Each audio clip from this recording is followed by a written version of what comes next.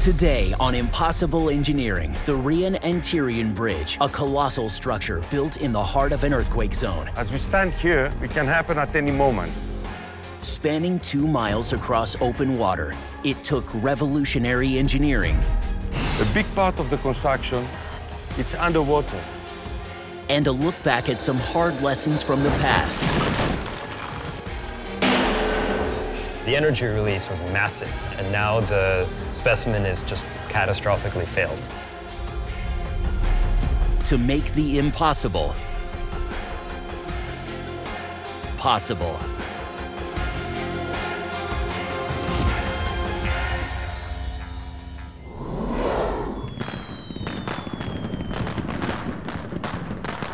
August 2004, the Rion-Antirion Bridge opens to traffic for the first time. It's an engineering masterpiece of the modern age.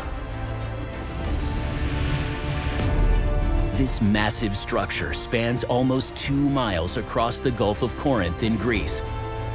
It boasts the longest fully suspended deck and deepest foundation piers of any bridge on Earth.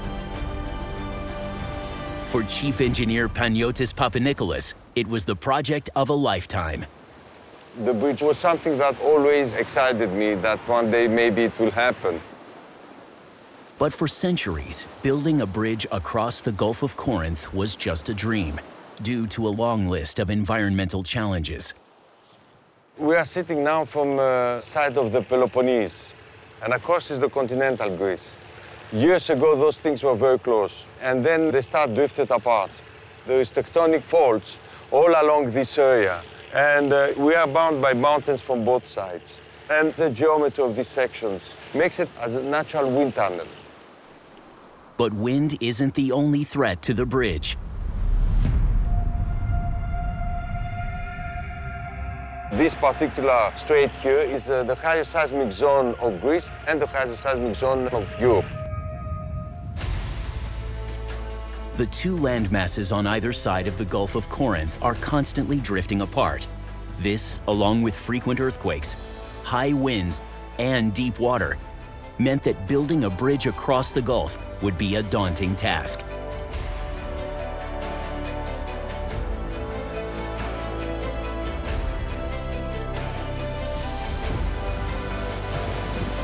But the need for a safe crossing was desperate. The perilous waters of the Gulf of Corinth often made ferry crossings impossible and cut the peninsula off from important services. There are examples of people that uh, lost their lives because uh, the ferries were not crossing due to bad weather and they could not come to the hospital. There was a need of this bridge. So in the 1990s, the government embarked on one of the most ambitious engineering projects in modern history. The first challenge was to design a bridge that could span the almost two-mile gap across the Gulf of Corinth. The distance was too great for a single-span bridge, so engineers had to build support towers in water that's over 200 feet deep. The cross sections below sea level, we go to deep waters from very beginning of the shore. No matter what type of bridge we want to select, we could not escape the depth of water. To overcome the water depth issue, Panagiotis and his fellow engineers would need to look to history's great engineering innovations for the solution.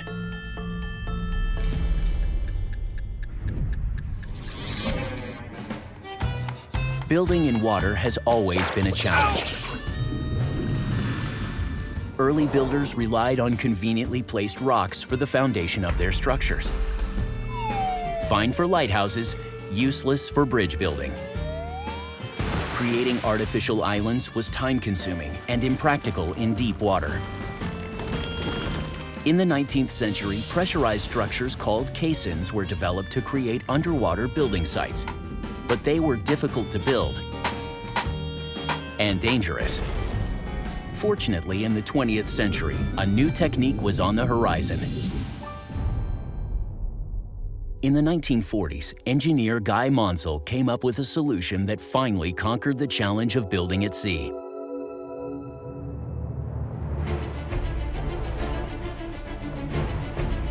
Professor Luke Bisby is heading far out into the English Channel to see the remains of Guy Maunsell's bold creation firsthand. Maunsell's influence in contemporary engineering I don't think really can be overstated.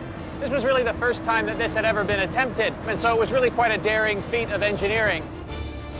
Maunsell's innovation was triggered by the Second World War.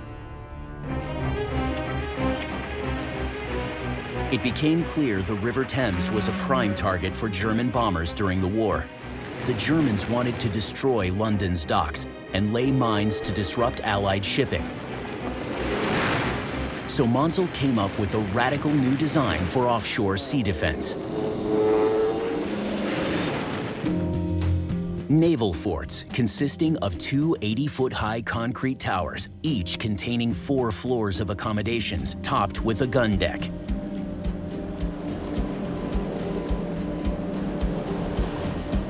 But the ingenious part of Maunsell's design wasn't the layout of the fort. It was how it would be constructed and deployed at sea. Knock John here was towed out three to six miles from where it was constructed on land, uh, and then it was sunk in place, uh, out exactly where you see it. Maunsell designed the bases of his forts as huge hollow concrete barges. Despite their enormous weight, they had enough buoyancy to float. Maunsell built the forts on top of these large concrete barges and then calculated how large the barges needed to be in order to hold the weight of the fort so they could be taken out and then sunk in place. The massive four and a half ton concrete forts were constructed in a dry dock, then towed out to sea with a 100 man crew already on board. Uh, when they had it in the place where they wanted it, they essentially just pulled out a stopcock at one end and let the water flow in. As the water was flowing in, the barge started to list in the water. Eventually, the nose dipped under the water. All 100 men were hanging on as the fort was sinking at 35 degrees. Despite the rough submersion, Maunsell's groundbreaking design worked perfectly. The bottom of the barge basically filled up with water, and eventually the entire barge sunk to the bottom and flattened out.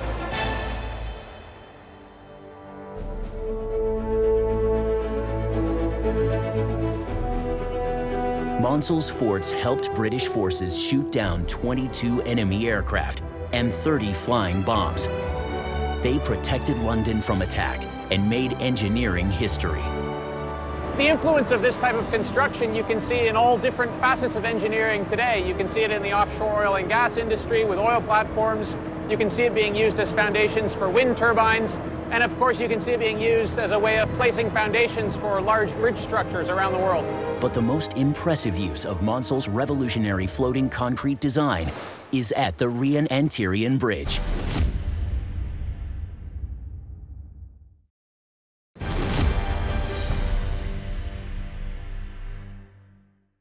The Rion-Antirion Bridge spans an incredible two miles across the deep waters of the Gulf of Corinth. To support this massive structure, engineers used principles first exploited by Guy Maunsell in the 1940s and supersized them.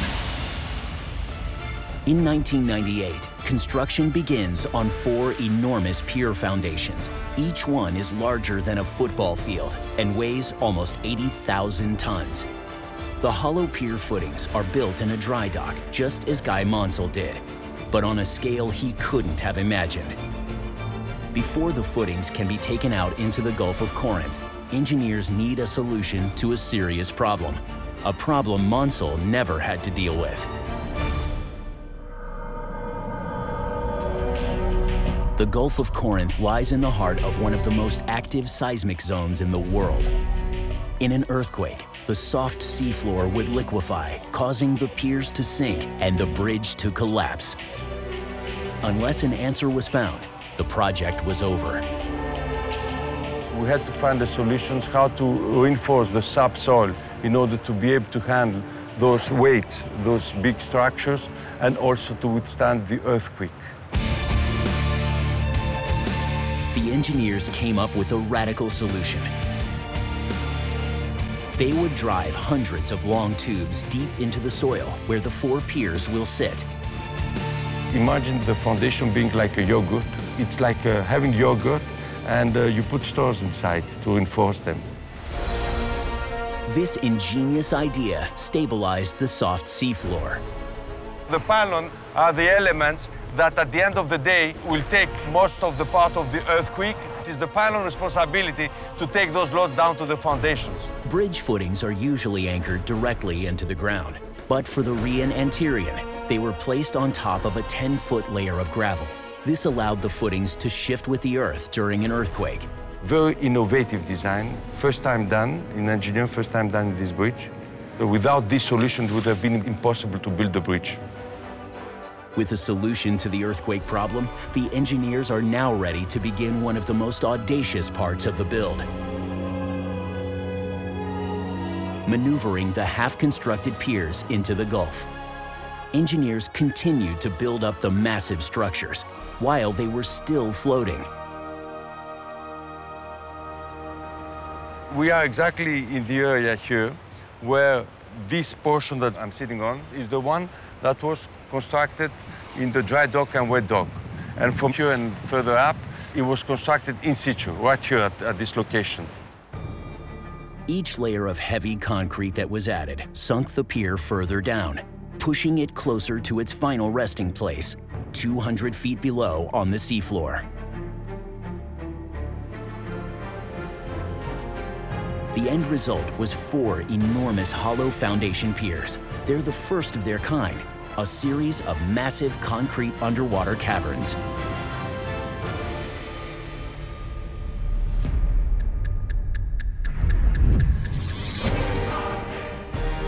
The pier footings for the Rion-Antirion can survive an earthquake, but what about its nearly two-mile-long suspended deck?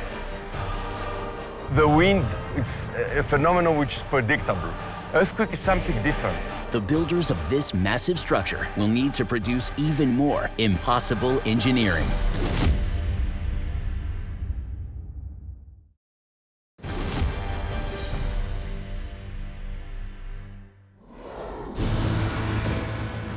The Rion-Antirion Bridge in Greece is a modern engineering marvel. Over 11 million cubic feet of concrete, more than 100,000 tons of steel, and 39 miles of cabling make up the longest fully suspended cable-stayed bridge on the planet.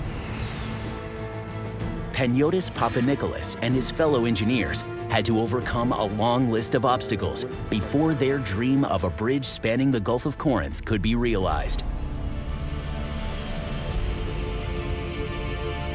The Gulf of Corinth is one of the busiest trade routes in Europe. Its shipping lanes cannot be disrupted.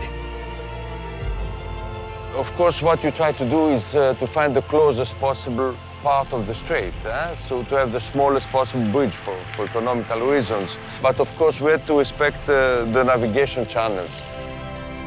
To design a bridge capable of spanning this gap without interfering with shipping, engineers would need to turn to the great innovators of the past for inspiration.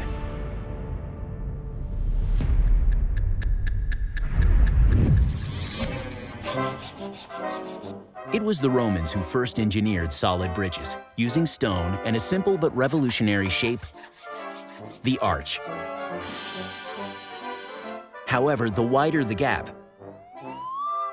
the more arches were needed, and the heavier the bridge became. For hundreds of years, Inca communities in the high Andes crossed gorges using suspended wooden walkways. It's said that 16th century Spanish conquistadors arriving in Peru looked in amazement and fear at the swaying bridges that could break at any moment.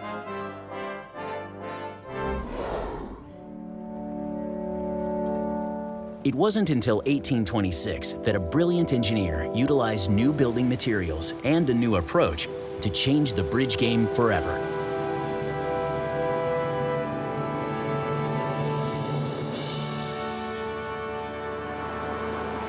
The Menai Suspension Bridge is the ultimate achievement of Thomas Telford, one of Britain's finest civil engineers.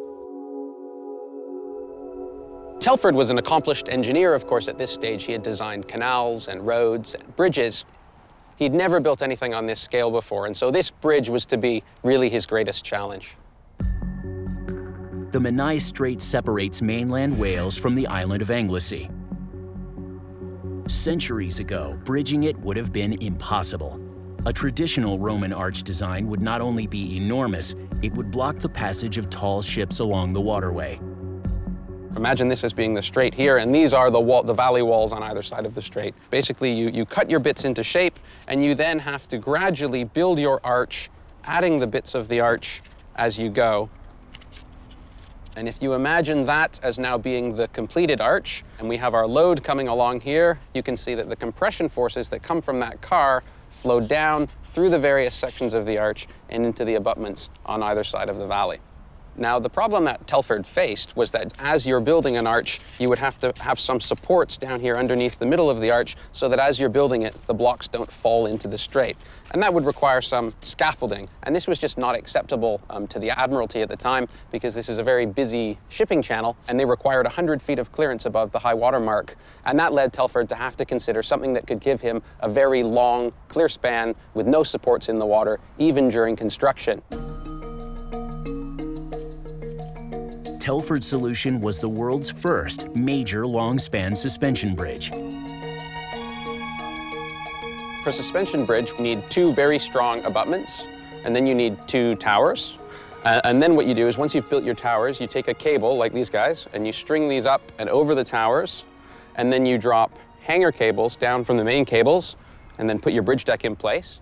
And then once your bridge is completed, uh, if you have a load that comes along, say our, our car here, it comes along, and now when the load gets out near the middle of the span, the load from the car then gets transferred up through the hanger cables into the main cable up over the tower.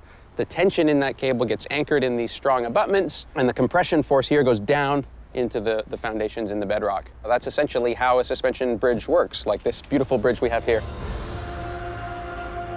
Telford's suspended deck was a stroke of engineering genius.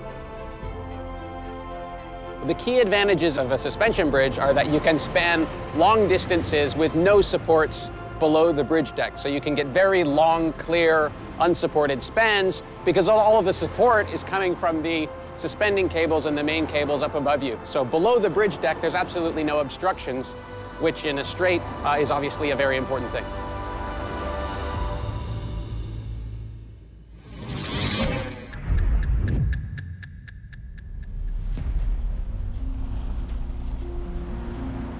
A suspended bridge was the obvious solution for Papanikolas and his fellow engineers in the Gulf of Corinth, but they would have to do it on a much larger scale. The Rion-Antirion would need to be an incredible seven times longer than the Menai suspension bridge. Unlike the main anchored cables of Telford Suspension Bridge, this cable stayed design would use individual cables radiating from four huge pylons spaced 1,600 feet apart. Each cable set would support a 40-foot section of the bridge's deck.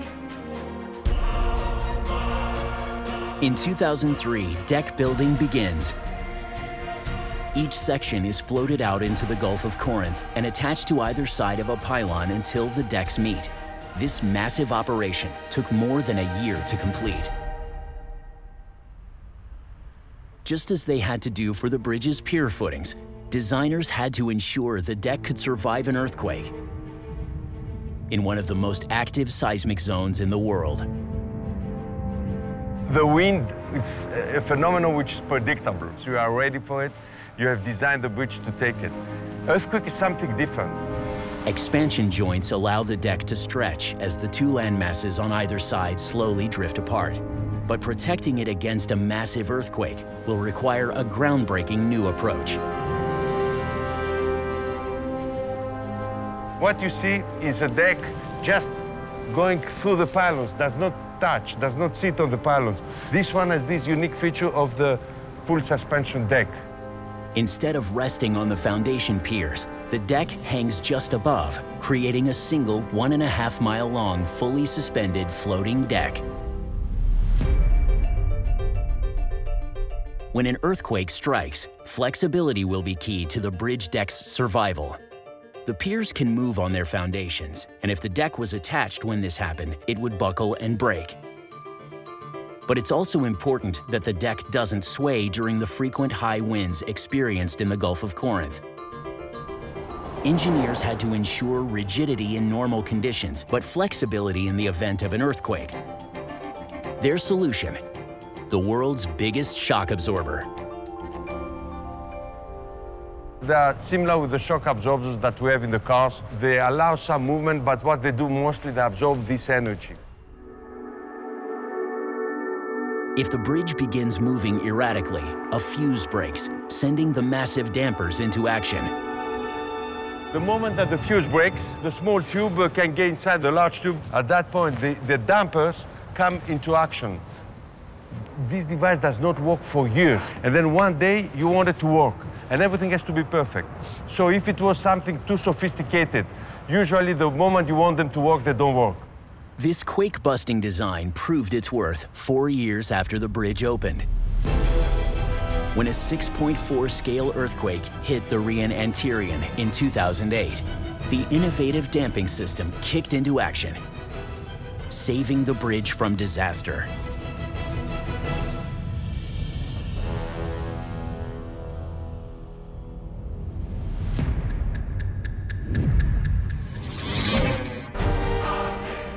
But earthquakes aren't the only natural forces that engineers will need to overcome. We are like inside the wind channel here, so there is always, always wind. Thing is that as you go higher and higher from the sea level, the wind's getting higher and higher, the wind, the wind speed. To ensure the Antirion survival, they'll need to take a look back at some of history's great engineering catastrophes.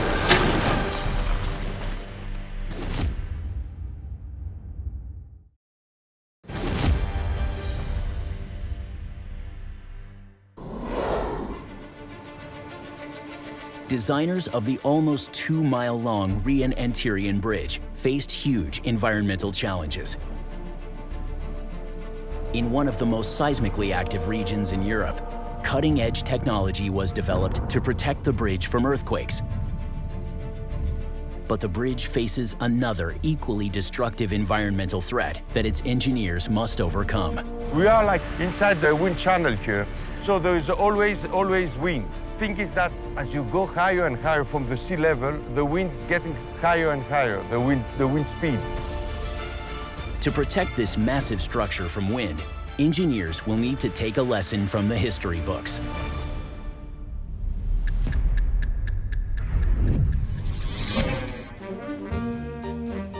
When the Tacoma Narrows Suspension Bridge opened near Seattle in July 1940, it was thought to be at the forefront of bridge design.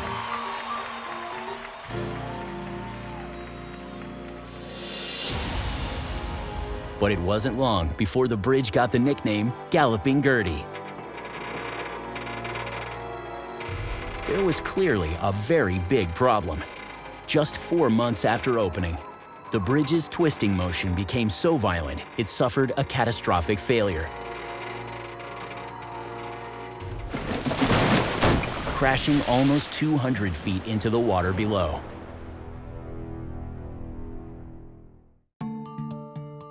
An investigation found that the relatively light 40 mile per hour wind was hitting the solid edges of the deck, creating an unstable oscillation that fed off itself, amplifying to the point of disaster. The wind conditions are far more severe in the Gulf of Corinth. The mountainous landscape creates a funnel where winds of 70 miles per hour are common. The aerodynamics of the bridge deck are a crucial element. One of the solutions is to put fairings, spoilers. The same thing on a fast car, you have the spoilers underneath uh, just to improve the aerodynamic shape of the fast car that, that drives through the wind. Here is the wind drives through the bridge. The fairings safeguard the deck from gusts of over 150 miles per hour. But the massive cables holding up the deck also need to be strong enough to survive extreme wind gusts. The designers of the Rion-Antirion looked to an engineering marvel created years ago for the solution, one that conquered a challenge once thought to be impossible.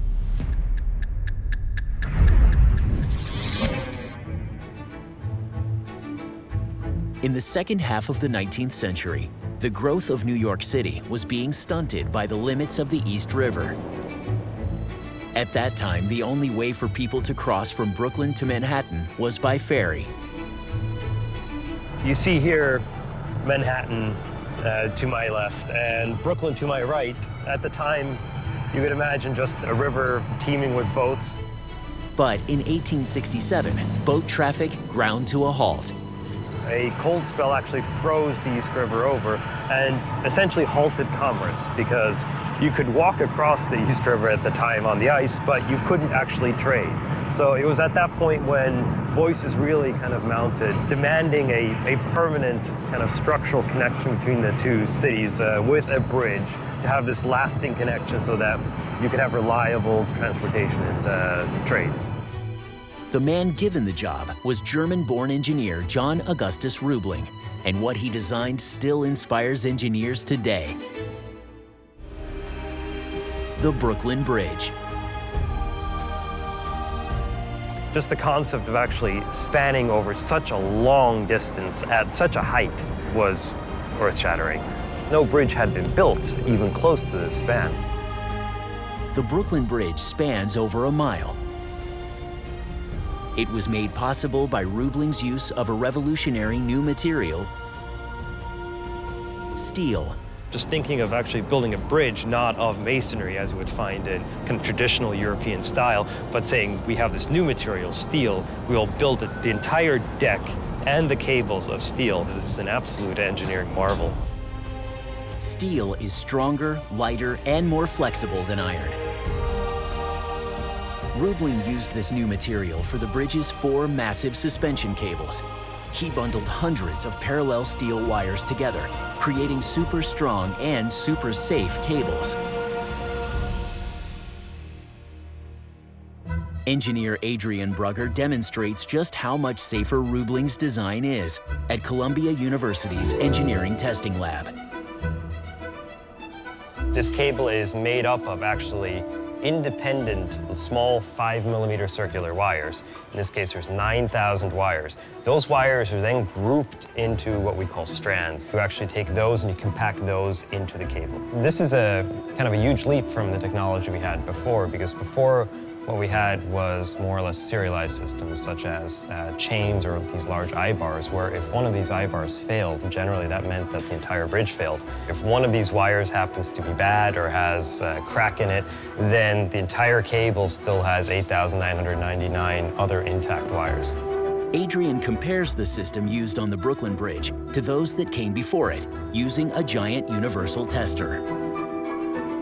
And more or less, a universal testing machine just means that it's a machine that is built to crush things and rip them apart.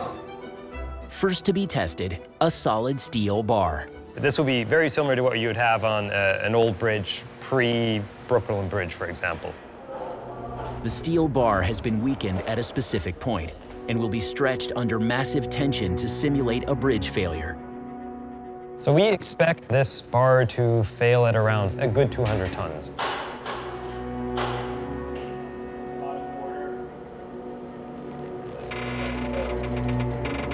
Right now you can see the necking is starting at about a quarter up from the reduced section, so exactly where we wanted it. Uh, and it'll become more and more pronounced kind of as we see it now.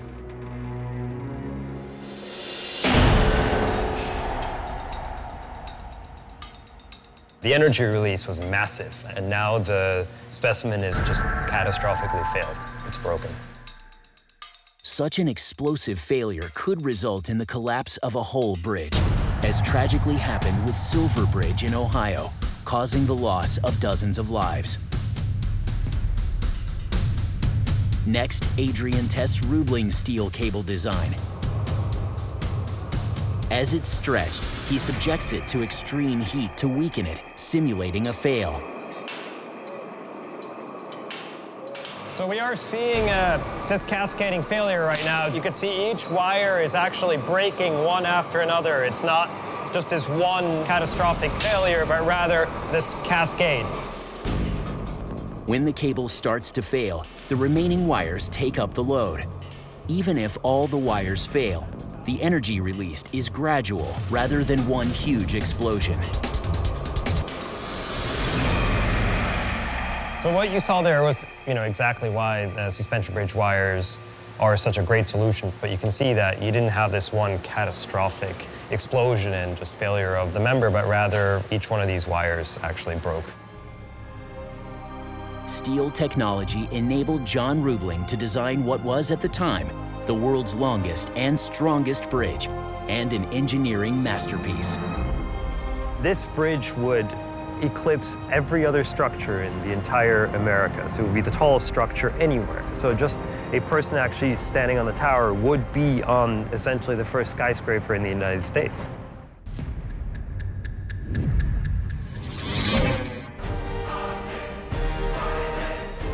The designers of the Rion-Antirion Bridge will need to supersize the revolutionary ideas of John Roebling and the Brooklyn Bridge this type of oscillation would be very worrying to the designers. The structure could collapse due to oscillations such as this. And create even more impossible engineering.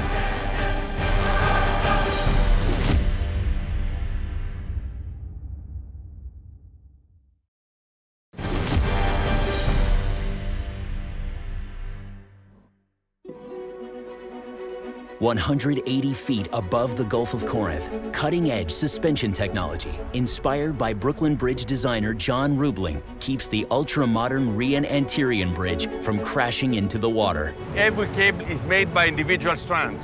They are parallel. Strand is 50 millimeters diameter, more or less.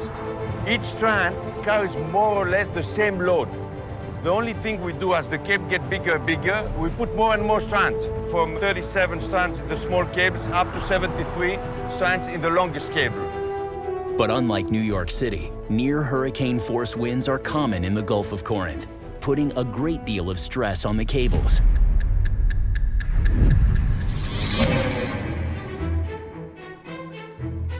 At a wind tunnel facility, Professor Luke Bisby demonstrates just how destructive wind can be.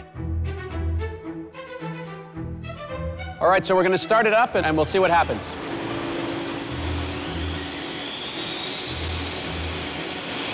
If this were the cable in a real bridge, this type of oscillation would be very worrying to the designers. Uh, because what this would mean is that the, the metal that forms the cable would be being stressed repeatedly back and forth, and eventually in a metal cable, that can lead to fatigue, which can cause cracking, and hence potentially failure of the structure. So the structure could collapse due to oscillations such as this. When wind strikes a cylindrical structure like a cable, it separates, then rejoins on the other side, causing the structure to oscillate, a phenomenon known as vortex shedding. Vortex shedding has been responsible for the collapse of several chimneys and towers over the years, In 1957, British scientist Christopher Kit Scruton discovered that adding a simple fin to a cylindrical structure would break up the wind vortices, reducing the vibrations that could lead to a collapse. He called the fin a helical strake,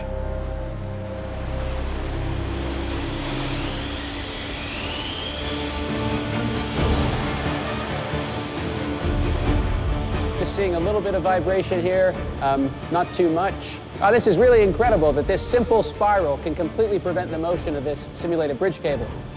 With the helical strake, we get this disruption of the flow pattern, we introduce some turbulence, um, and both the, the formation of the vortices and the vibration of the cable both stop. The helical strake seems to be working. Since Kit Scruton invented the helical strake back in the 50s and 60s, it's been applied to tens of thousands of structures and chimneys and bridges around the world and has really saved them from potential catastrophic collapse due to wind effects.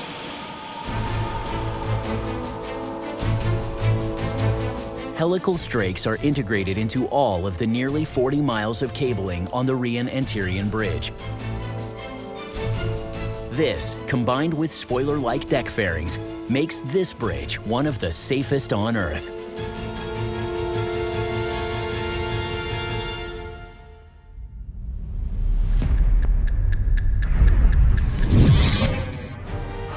But a bridge can't just be functional, it has to be beautiful. So once again, engineers will look to the innovations of the past for inspiration.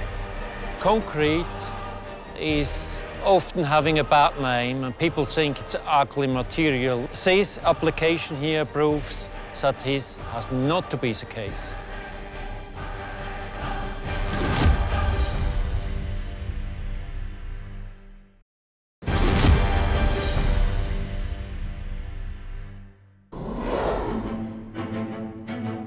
The Rion-Antirion Bridge in Greece is a wonder of the engineering world. Its designers not only had to ensure it could survive earthquakes and high winds, but they were also forced to construct it in extremely deep water on unstable soil. Underwater, the bridge may be an enormous mass of concrete. But above water, it has to be elegant and add to the Greek landscape around it, not scar it.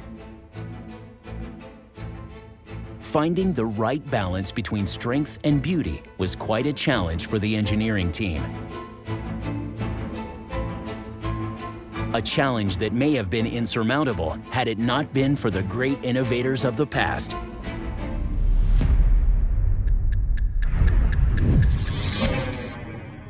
In 1928, renowned Swiss civil engineer Robert Maillart won a competition to design a bridge that would link two remote towns, 300 feet above the Salgina Valley in Switzerland.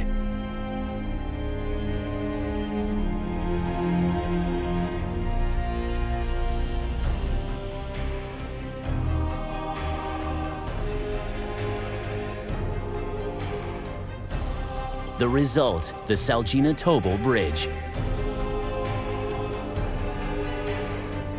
Designated an international engineering landmark, Maillart's bridge proved to the world that concrete could be both practical and beautiful.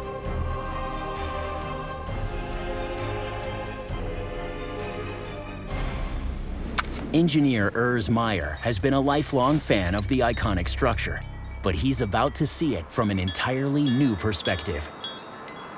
Up to now, I have seen the bridge from the deck, from the side, admiring the bridge and now I have the chance to see the arch very close. I'm very, very happy.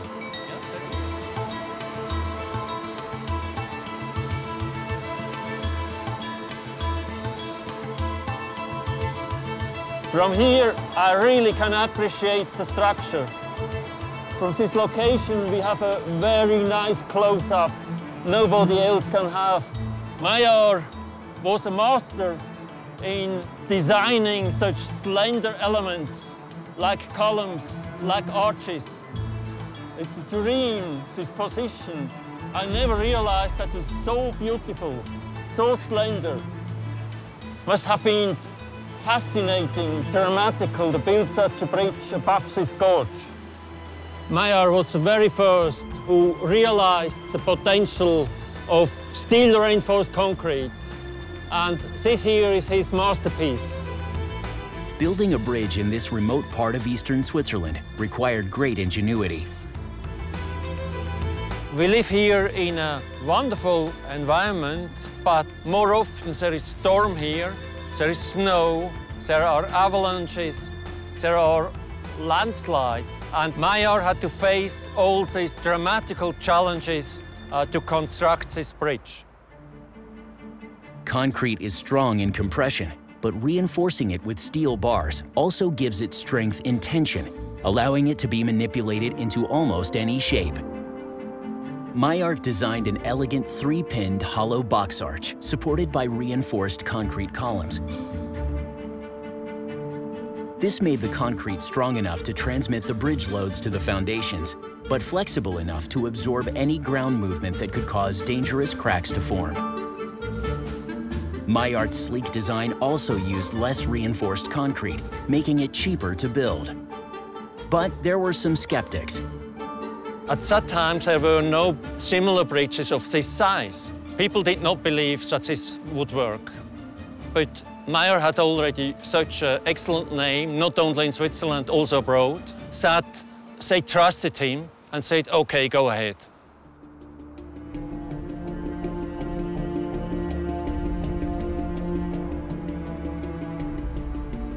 When the Salginatobel Bridge opened in August 1930, it was hailed an engineering and artistic triumph,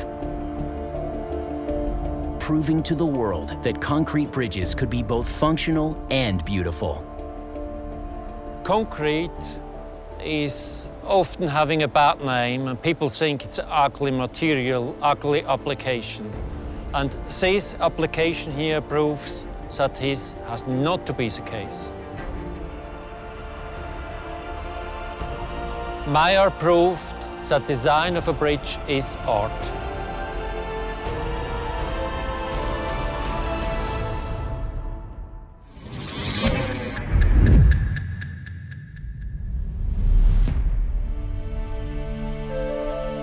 A thousand miles away in Greece, Maillart's influence can be seen all over the Rion-Antirion Bridge. The four reinforced concrete pylons embody cost-saving minimalism, flexible strength, and elegant design. So from the bottom, it's huge. And as we go towards the top, we try to make it more elegant for aesthetic point of view, but also for saving of material and for saving of mass. At different locations of the bridge, you'll find different type and different qualities of concrete. The higher the quality, the more expensive it is. 780,000 tons of reinforced concrete ensure this bridge could survive an earthquake of 7 on the Richter scale.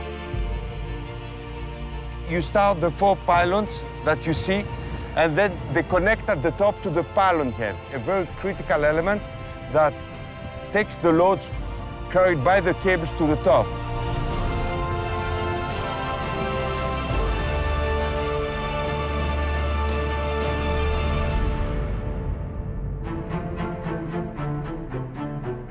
The Rion-Antirion Bridge has redrawn the map of Greece, and its designers have rewritten the rules of bridge engineering forever.